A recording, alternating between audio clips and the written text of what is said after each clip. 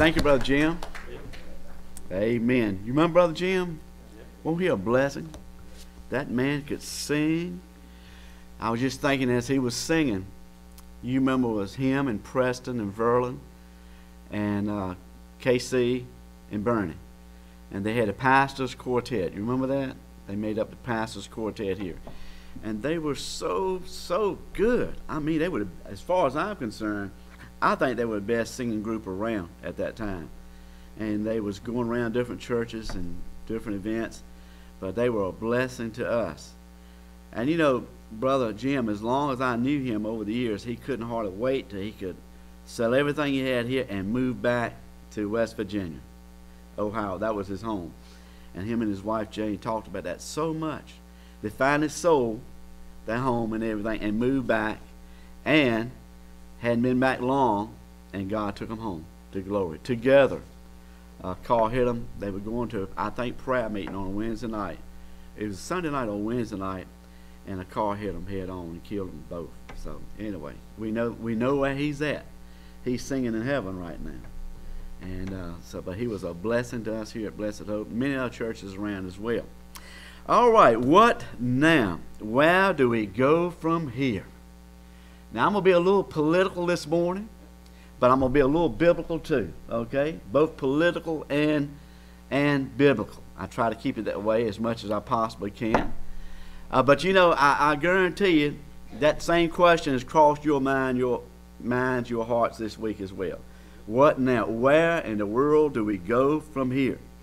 Past few days, we witnessed a new administration that has been sworn in, and it, with an administration that's bringing in an agenda. Now, you think about this an agenda that includes politics, I mean, policies, social, cultural ideas that I believe are diametrically opposed, my friends, to the principles, the foundation, the pillars of our nation for over 200 years.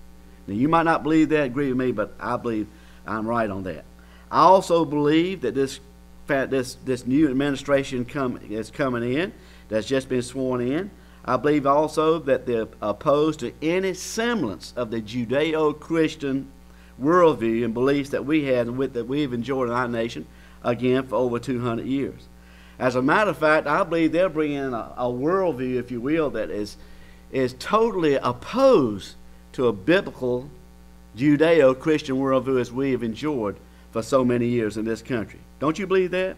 And not only that, I believe they're also bringing in a worldview not only opposed to biblical beliefs, but I believe they're bringing in an economic system that is totally opposed to free market, to capitalism, and at the same time, they're bringing in a economic system that many have said, and if you look at what they're doing, what they're promoting, you have to agree that is socialist, that is Marxist, and I would say even communist. Now, again, you might disagree with me, and we might be cut off of YouTube after this. Who knows? Yeah, I might be starting that jail ministry one of these days pretty quick. But, you know, three hots and a cot's not that bad when you think about it. At state's expense. but I don't want that now if I don't have to. But anyway, this, this is just what I believe. Now, the reason I say all that is because I'm looking at our new president's agenda. And by the executive orders that he has not only done so far, but his intentions for the executive orders that he's going to that he's going to sign in the next few days. That he's trying to remove everything about the Trump legacy that he possibly can.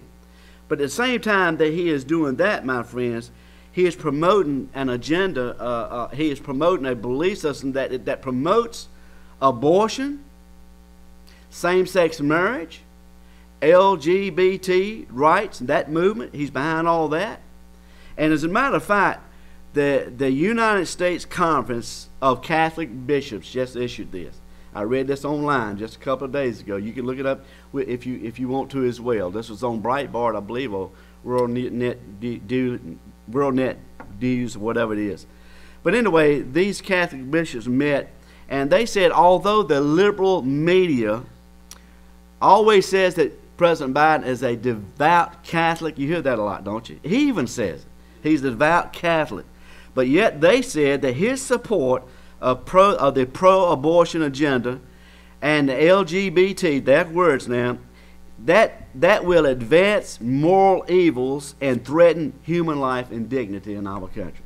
And that's what his own people said, the Catholic bishops of the United States Bishops League. So that's what they said.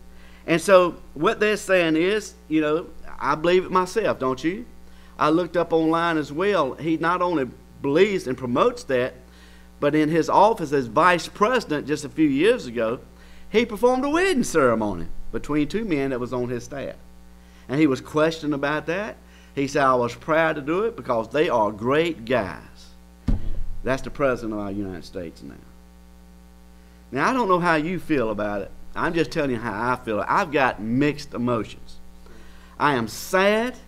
I am angry. I am heartbroken. And a little bit of fear. I don't know where our country is going from here. I listened to one of our great pastors in this country. I listened to him on the net the other night, and he said the same thing. But he said this. He said, talking about the election, everything that's happened past few days, past few weeks. He said, now listen, we prayed, we stood, we hoped, we fasted, and all over the country, this great prayer, energy, and effort was going on at the same time. We did all of that. We did all that we could do, he says, uh, but the answer from heaven is no. Amen? And I agree with him, don't you? So there was anger, there's hurt. But all after, after say, having all said all of that, we wonder why, don't you? We, we wonder why. We, we question this. We say, you know, but we know it's in God's hands, but we still have questions about it. We don't understand it, right? But I've been thinking about a lot of things, and I read this passage of Scripture. Last week, you remember I changed the Scripture reading right before the message, and I read again from Jeremiah chapter 29. I want you to turn there if you would. And as I was reading that, even as I was reading the Scripture last week, as I was as we was reading it together, you know, I saw an analogy there. Now we know what an analogy is, right? An analogy is, is similarities. It's similarities of like things that you can draw from two different things that you're trying to make a comparative, you know, point with that. Ex explanation, a point from that. When you make an analogy of two things, you're seeing likenesses of two different things. And when I read these verses of chapter 29 in Jeremiah, I saw not only one or two analogies, I saw several. Now we know that this is a letter written from the prophet Jeremiah to the uh, captives, to the exiles that's been deported. They've been evicted from their land, you know, and they've been carried away to Babylon. They're going to be there for a while. As a matter of fact, they're going to be there for 70 years. This is a letter from the prophet Jeremiah, who for 23 years he has been pleading, he's been preaching, he's been begging the people in the land of Judah to repent get their hearts right with God. Perhaps God might relent concerning this judgment. Although deep down, I think the prophet knew it was curtains, don't you, as you read this? But he's still pleading, he's still preaching, he's still begging. And he's asking the people to get their hearts right with God. So he's been doing this for many years. But we know that this was the handwriting on the wall was already settled. God has taken them off. And God already expressed that in His Word that was what's going to happen if they forgot Him. So this is a letter to the captives the exiles that are in Babylon. So I'm going to read starting verse 1 of chapter 29. Now these are the words of the letter that Jeremiah the prophet sent from Jerusalem unto the residue of the remnant of the elders which were carried away captives, and to the priests, and to the prophets, to all the people whom King Neb, Nebuchadnezzar, had carried away captive from Jerusalem to Babylon. After that, Jeconiah the king, and the queen, and the eunuchs, the princes of Judah, to Jerusalem, and Jerusalem, and the carpenters and the smiths were departed from Jerusalem. And they'd just been evicted, they'd been removed to Babylon. He sent this letter by the hand of Elasah, the son of Shaphan, of, and Gemariah, the son of Hilkiah, whom Zedekiah, king of Judah, sent into Babylon to Nebuchadnezzar, king of Babylon, saying, Thus saith the Lord, Lord capitalized small letters, which means this is from Jehovah God Himself. This is the Word of God. I've got a message to you from Jehovah, Yahweh God Himself. Jeremiah says to the people, Listen, thus saith the Lord of hosts, the God of Israel, unto all that are carried away captives, whom I have caused to be carried away from Jerusalem to Babylon. Build ye houses, dwell in them, plant gardens, eat the fruit of them, take ye wives Beget sons and daughters. Take wives for your sons. Give your daughters to husbands, that they may bear sons and daughters, that you may be increased there and not diminished. I want to see you multiply, God says to the people of Israel. And listen, while you're there, while you're in Babylon, while you're in this pagan, ungodly, wicked, idolatrous environment, seek the peace of the city where they have caused you to be carried away captives, and pray unto the Lord for it. For in the peace thereof shall you have peace. You pray for peace, you pray for prosperity uh, wherever you're at, whatever city you're in, whatever land you're in, and if the peace and, and God blesses you with peace and prosperity, guess what? You're going to be blessed as well. Isn't that what he's saying? For thus saith the Lord of hosts, the God of Israel, let not your prophets and your diviners that be in the midst of you deceive you, neither hearken to your dreams which you cause to be dreamed. In other words, there's going to be false prophets there. There's going to be there's going to be hacks. There's going to be uh, those who are going to be saying, You're just going to be here for a few days. God's going to turn all this thing around. He's going to defeat King Nebuchadnezzar. He's going to bring you back.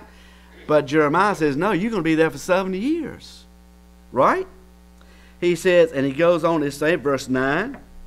He said, They prophesy falsely unto you in my name. Now, God is saying this through the prophet. I have not sent them, saith the Lord.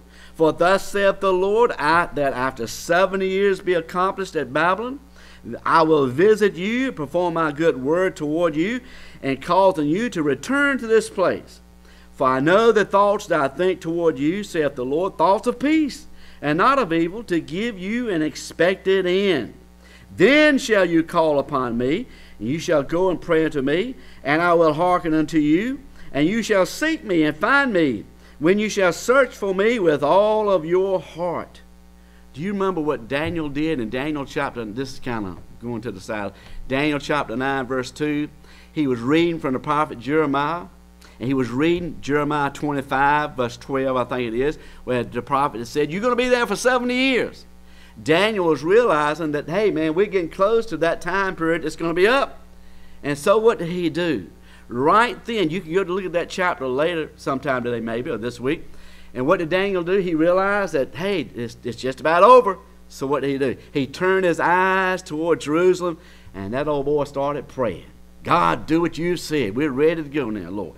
So that's what he did. So after seven years, he says, I'm going to do all this. He says, I know the thoughts I think toward you, saith the Lord, thoughts of peace and not of evil to give you an expected end. Then shall you call upon me, and you shall go and pray to me, and I will hearken to you. You shall seek me and find me when you shall search for me with all your heart. And I will be found of you, saith the Lord. And then he says, I will turn away your captivity. And notice this, and I will gather you from all the nations, from and from all the places whither I have driven you, saith the Lord, and I will bring you again into the place whence I caused you to be carried away.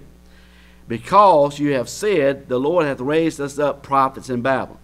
Now, verse 16 through 19, I'm going to read this because this comes into another analogy that I kind of see as I read this. Know that thus saith the Lord of the king that sitteth upon the throne of David, and of all the people that dwelleth in this city, and of your brethren that are not gone forth with you into captivity. In other words, some of them refused to go. They were stubborn. They said, No way, Jose, we're going to stay right here. Even after the prophet said, No, you better go. You better go. This is of God. All this is of God. You better listen to his word. But they wouldn't do it. Now, for those, listen, that did not obey, they did not listen to the Lord, those that were left behind. Those that were left behind. Look at verse, verse 17. Thus saith the Lord of hosts Behold, I will send upon them the sword, the famine, the pestilence, and make them like vile figs that cannot be eaten. They are so evil. And I will persecute them with the sword, and with the famine, and with the pestilence and will deliver them to be removed to all the kingdoms of the earth, to be a curse and an astonishment and a hissing and a reproach among all the nations whither I have driven them, because they have not hearkened to my words, saith the Lord, which I sent unto them by my servants the prophets, rising up early, sending them, but you would not hear me, saith the Lord. Now, can you see an analogy in that? Now, I can. You might not can, but I can. I see several analogies in this. As I think about what is what happened to Judah, to Israel before Judah, and then I look at us today. I can see likenesses. I can see similarities here. And I think we ought to listen to the Word of God. And I think as we do this, as we listen to the instructions, you know, to these captives, to those exiles, those who've been carried away, because in a sense, I believe we have been, we're kind of like exiles. Erwin Lutzer wrote a book, The Church in Babylon. I don't know if you read that. I, I, told you about that a few times. He got from someone, uh, another writer, who was saying that, you know, because we, we are held captive in this, in this godless culture, we ought to just kind of form monastic groups of believers together, kind of isolate ourselves apart from the rest of the culture and society itself and just build these little communities that we're going to obey God. So that come about because of the wickedness that we're seeing prevailing in our land today. So, in a sense, we are being more so today than we were just a few weeks ago. Held captive as being exiled, even while we're in our own land. So, what are we to do? Where do we go from here? Do you ever ask that? Several things I can deduce from this passage here as I'm reading this. And I want you to see this. Number one, okay? Number one, if you want to write notes or whatever, Number one, we need to understand that everything that happened as we look at this passage was ordained, decreed by Jehovah God Himself. You see verse 4? Look, if you would, at verse 4. He says, uh, well, verse 1 first. Verse 1. Now, these are the words of the letter that Jeremiah the prophet sent from Jerusalem unto the residue, the remnant of the elders which were carried away captives to, and to the priests and to the prophets and to all the people whom Nebuchadnezzar, listen, listen to this, had carried away captive from Jerusalem. The NIV says this, and it's a little bit more graphic and precise in the NIV. It says this This is what the Lord Almighty, the God of Israel, says to all of those I carried into exile. You see that? This letter, God says, this, I carried you into exile. It wasn't just King Nebuchadnezzar. It wasn't just the Chaldeans. It wasn't just the Babylonians. Listen, this is from me. I ordained this. I decreed this. He says, This is from me. Verse 7, he says the same thing. Look at verse 7. Seek the peace of the city where the I have caused you to be carried away captives. In other words, everything that happened to you, the horrible siege itself, all the awful catastrophes that happened to you, listen, I caused it. I did it. This is from the hand of God. This is from me. The reason you have been evicted is because I evicted you. I threw you out of your land. It wasn't, God is saying to the people here, listen, it wasn't fate, it wasn't an accident, it wasn't a tragic turn of events, it wasn't a coincidence, it's providence. It's providence. I did this. Now listen, everything that happened here to the to God's chosen people, Judah, Israel, it didn't catch God by surprise. It didn't just slip up on him. It didn't catch him by surprise. It wasn't that uh, God himself was uh, and his people was ambushed, surprised by the enemy, tricked by Satan, out strategized by the devil in this war of ages and they all just lost this simple battle here. No, God says everything that happens to you, that has happened that's even happening to you right now, was planned, was purposed, was permitted by me. This is from me. It's all from my hand. The destruction of Jerusalem, the siege, all the horrible events that you read about, even in the book of Lamentations. Now, of course, God will allow Satan to do these things, right? We know that. Look at the book of Job, we can understand that. But yet, who's the sovereign God of all of this? Think about this. It's from Him. It's from Him. And I think that's the first thing we need to see this and to understand this. It's all, at the end of the day, listen, it's from God. And actually, it should have been expected from the people, right? Should have been, should have been expected from the people of Judah, right? Because when you think about it, you even go back to the book of Leviticus. You go back to the book of Leviticus, chapter 26. You go to the book of Deuteronomy, chapter 28. They were warned through Moses, by God through Moses. Listen, they were warned that if you forsake me, if you adopt the pagan gods or the pagan peoples all around it, if it ever comes a time that you forsake me, you forget me, you turn your backs upon me, God said about eight or ten things in those passages. I'll do this to you. I'll cause famine. I'll cause you to starve. I'll send pestilence. I'll send disease. I'll send wars. I'll do all of this. And lastly, you know what I'll do to you? I'll scatter you, listen, among all nations. You will be evicted from your lands. God warned them that, so it shouldn't have been a surprise to them. Amen? He warned them about that. And then he said, and you go to the earlier chapters in the book of Jeremiah, and he says in Jeremiah chapter 2, verses 17 and 19, chapter 4, verse 18, and chapter 5, verse 19, you brought this on your own self. You procured these evil, terrible, horrible, awful things upon your own self by your own doing. I sent to you prophets, we read it a few minutes ago. I sent to you preachers, prophets, Jeremiah, he's been pleading, he's been begging, but you said, no, no, no, don't want it, don't want part of it, I'm going to do my own thing. The prophet, as far as I'm concerned, can drop dead. We got these good ear ticklers in the way, just tickling our ears, making us feel good, saying everything's going fine, honky dory. So don't want to hear Jeremiah. Don't want to hear true man of God. Amen? So that's what happened. So God says you, you did. They even got to the point that they couldn't even blush anymore. That's what the word says. Can't even blush anymore. It got to the point of no return. I preached that many times. Even got to the place where God says, Listen, I don't care if Daniel was here, if Moses here, I'd still judge the land. Isn't that what he said, folks? So it shouldn't have surprised them, shouldn't have caught them by surprise, and it shouldn't catch us by surprise what has happened to us as well. Psalms 9:17. You, you I won't turn now, but what does it say? All the wicked and every nation that forgets God will be turned into hell.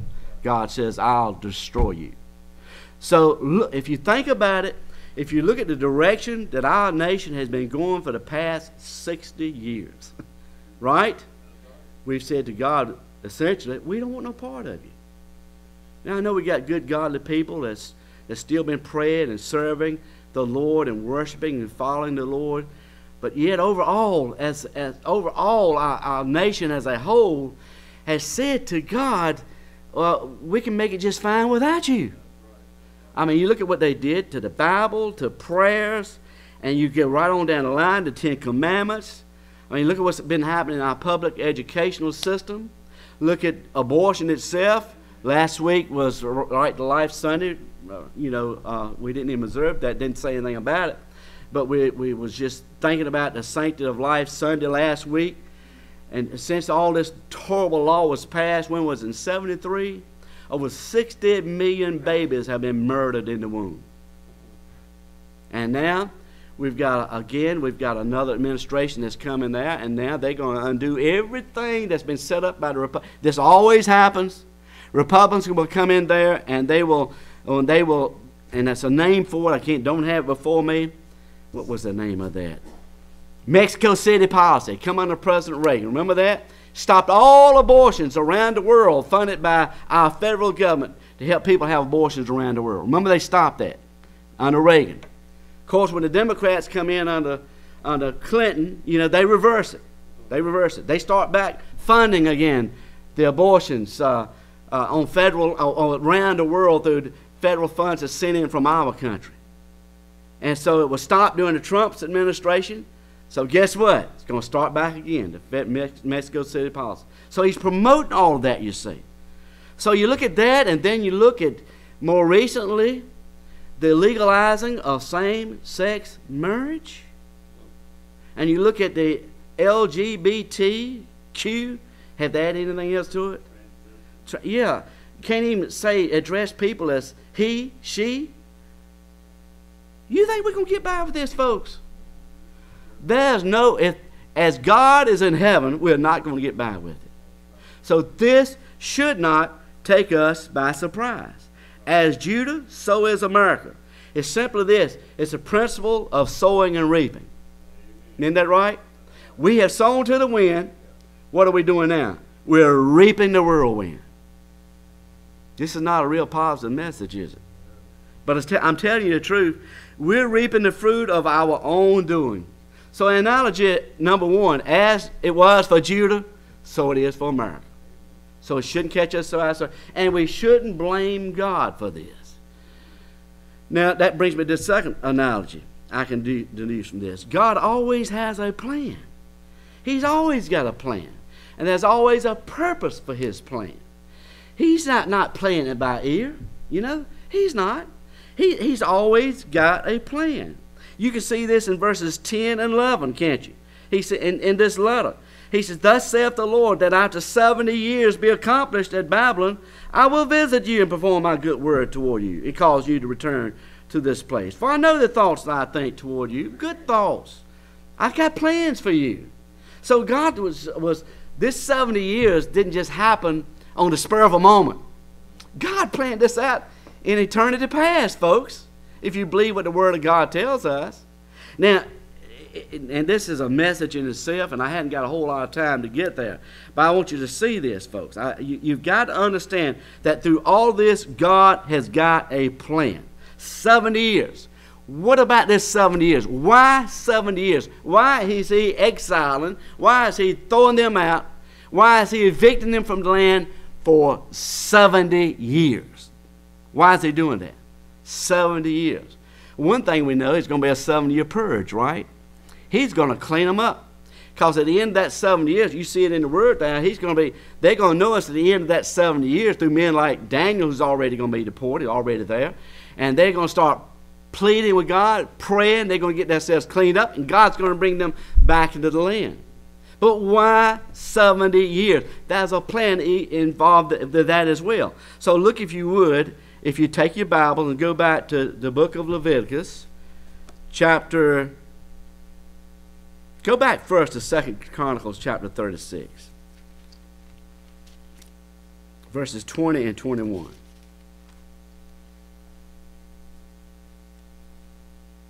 Look at that if you would.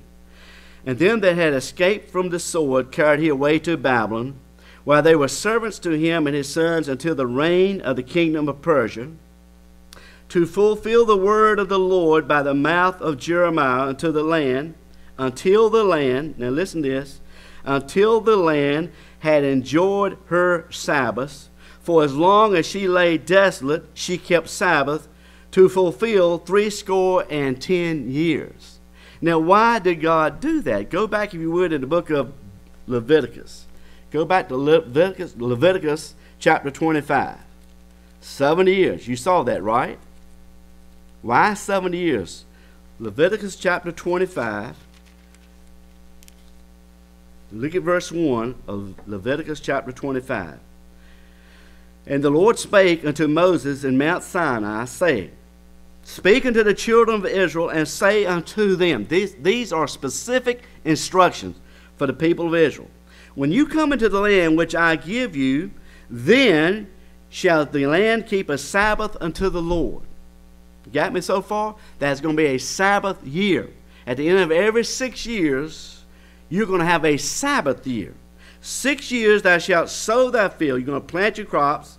Six years you'll not only sow and plant your crop, but you'll prune your vineyard. Then you'll gather in the fruit thereof. But in the seventh year, the seventh year shall be a Sabbath of rest unto the land, a Sabbath for the Lord. Thou shalt neither sow, plant, nor thy field, nor prune thy vineyard. That which groweth of its own accord of thy harvest shalt thou not reap, neither garner the grapes of the vine undressed, for it is a year of rest unto the land. Now, we don't have time to turn that, but if you look later at Deuteronomy chapter 31, I believe it is, verses 10 through 13, not only were the Israelites supposed to give the land a rest that year, but they were supposed to go for one of the feasts. And during that time, the priests, the Levites, was to instruct them into the, in the word of the Lord, the law, out of the law. So that was a year of instruction.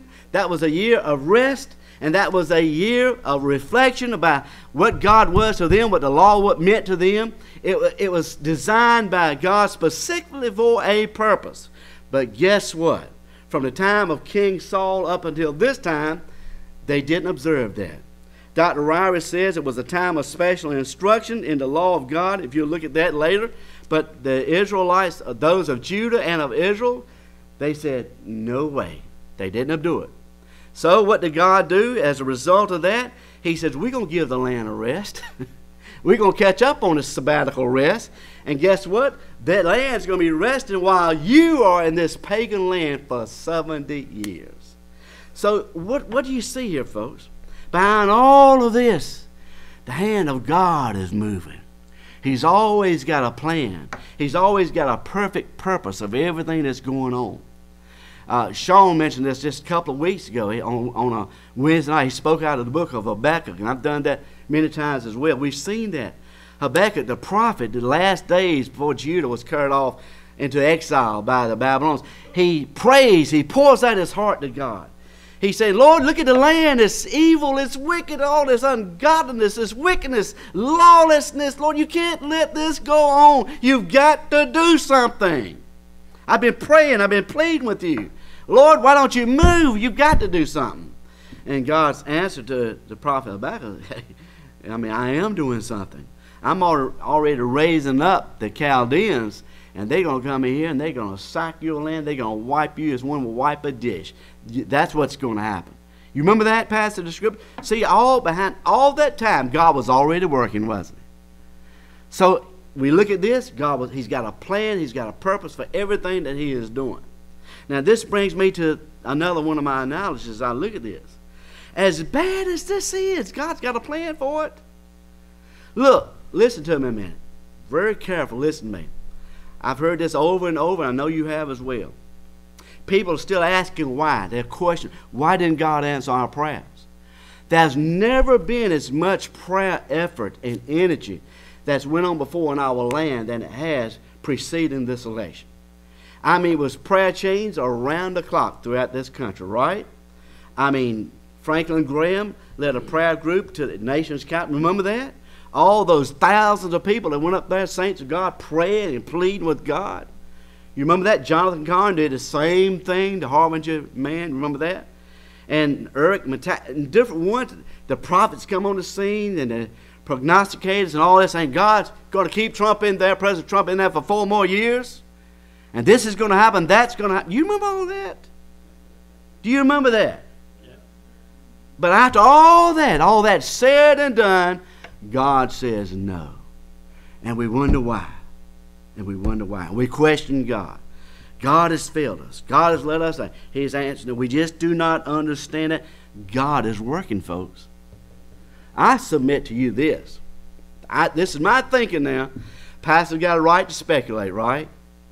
Amen? This is my thinking. I look at all this and, and I, I remind myself what I said a few weeks ago. Remember, I read that little thing out of that devotional to y'all? Well, uh, these people, this man, this man wrote this who's been in prisons for his faith, and he said, I've seen prisoners on thy knees praying and pleading for America because America is the last hope, it's the last dam, it's the last defense against communism worldwide. You remember that? America is the last hope for freedom, for liberty, for life to go on, the great defender of the helpless nations around the world. And if America goes, then it's all over. Haven't you heard that? It's all over for the rest of the world. So I'm looking there and I'm wondering, hmm, what's going on here?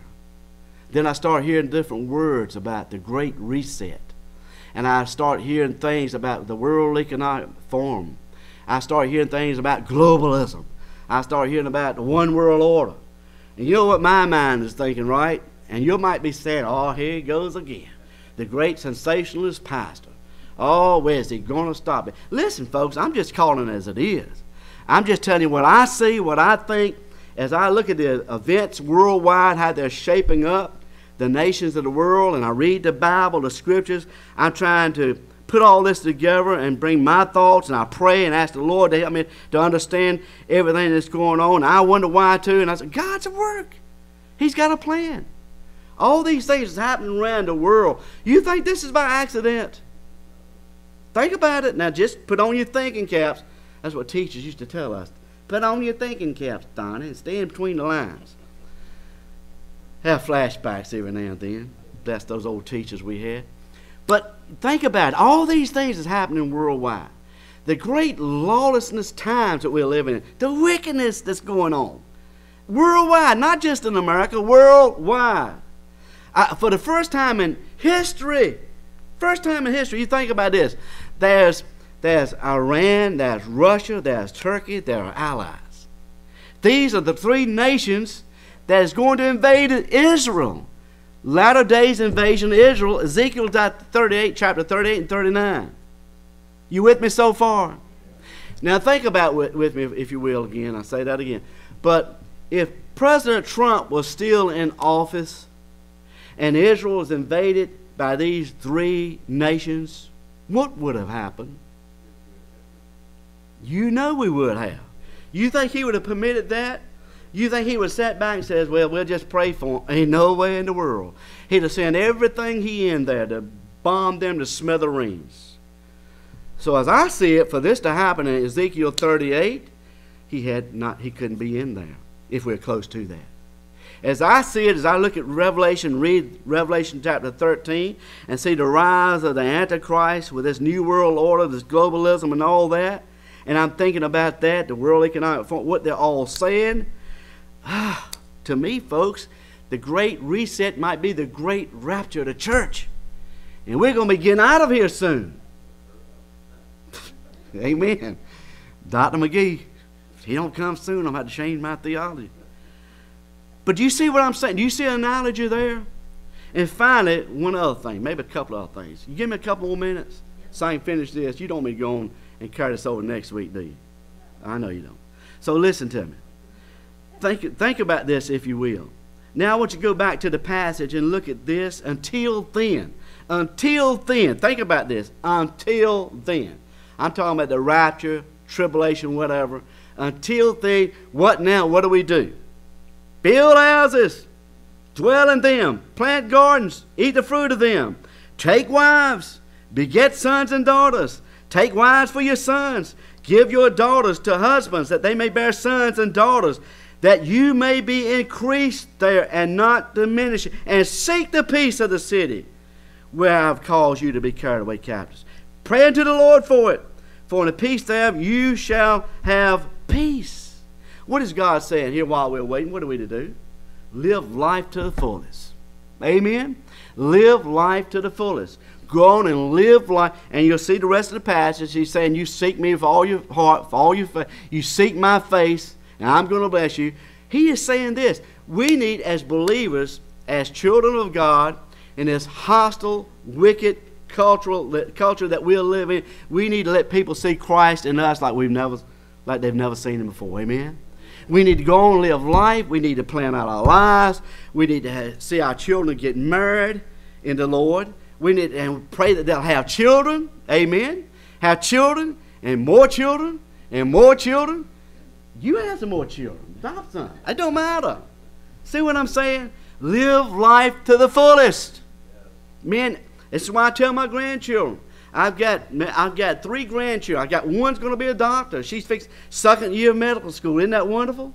I pray that she'll be the greatest doctor while she's here that, that anyone could possibly be. I got a couple of engineers to be, and I hope they'll make great engineers. I got one fixing to graduate from Carolina. I know you love that, Chapel Hill. And yes, sir, And I'm excited about that. And I say, if you got, you, you do the best at what you can do, whatever you're doing. You live life to the fullest. You live life, have careers, have children, and be and listen, above all, in these days of the pandemic, let people see Christ in your lives. Church, this means for us, what a wonderful opportunity. We can we can show Jesus to the rest of the world. Work, do for others. Be there for one another. Serve one another here in this church, right? Find out there's needs among our people. Just church, be the church until Jesus comes. And while you're doing it, keep on sharing the gospel of Jesus Christ. Warn them, plead with them, beg with them. Because when that rapture takes place, we don't want to see our children or grandchildren left behind. Now, if they don't listen to the Word of God, if they don't listen to the preaching of the Word of God, if they don't get the hearts of Christ, listen, when that horn does, trumpet does sound, they're going to be left behind. Just like these people. See that other analogy right there I was trying to share with you? They didn't listen to the prophets. They didn't listen to the preachers. They didn't listen to the people that God sent them to beg them, to pray with them, to get them to get their hearts right with God. So they were not carried away into exile. They were left behind. God says one day I'm going to come back. I'm going to gather you from all the nations wherever I've sent you. I'm going to bring you back. He's going to do that with Israel in the future events of the time. We know that's going to happen. But one day, church, He's coming for us. Amen. He is coming for us. So that's the way I see it. What now? Until then, where do we go from here? Just keep on being the church and smiling and loving everybody, telling people about Christ. Amen. Let's stand if our heads bowed. Amen. Thank you, Lord, for your precious word that always has an answer for us, Lord, as we read it, as we search it, as we delve into it, as we pray, as we seek your face, you have got a word for us.